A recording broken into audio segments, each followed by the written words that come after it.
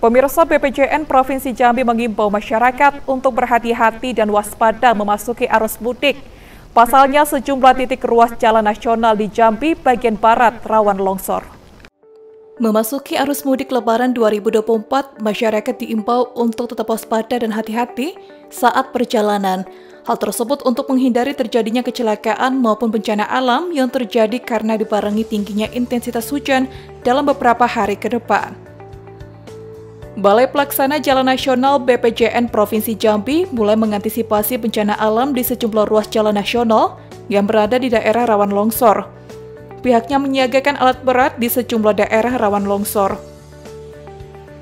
Kepala Satker Pelaksana Jalan Nasional Wilayah 2, Dias Sodik mengatakan, wilayah Jambi bagian barat menjadi daerah rawan longsor, apalagi saat tingginya intensitas hujan di Provinsi Jambi.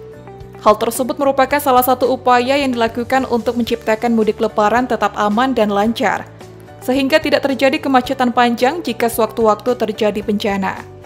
Kami dari BPJN Jambi, mewakili BPJN Jambi, Sarker PJN 2 Jambi, uh, untuk mengantisipasi longsor dan menangani longsor-longsor yang terjadi di kawasan Kerinci dan kawasan Bungo, kami telah menstandbykan personil, menstandbykan alat berupa eksavator, loader dengan uh, dengan bekerja sama dengan uh, pihak penyedia jasa dan juga di sana ada Pemkap, Pemkot, aparatur pemerintah, aparatur uh, kecamatan di sana uh, sehingga uh, penanganan longsor di wilayah Kerinci dan sekitarnya ini dapat tertangani sebelum 1 kali 24 jam.